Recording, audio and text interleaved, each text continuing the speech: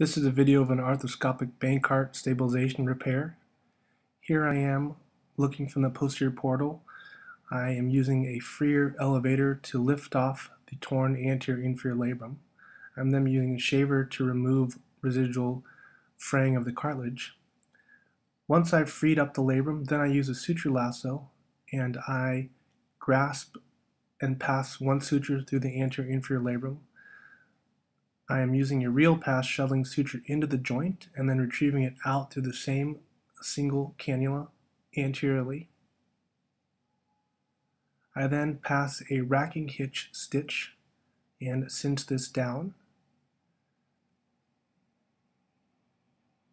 I then use that first stitch as a tensioning suture so that I could pass a second. I pass a shuttling suture through the anterior inferior labrum grasp this and clamp it outside the shoulder.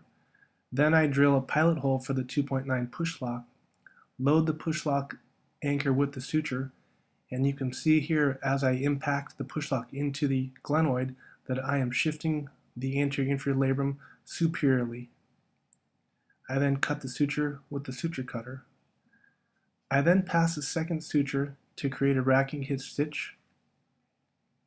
I cinch this down once again, I drill another 2.9 millimeter pilot hole for the PushLock that's been loaded up. And you can see here as the PushLock goes into the glenoid, the anterior inferior labrum gets shifted superiorly. I then cut the suture.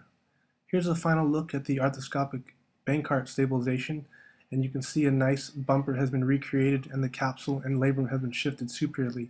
I am probing it and it is very stable.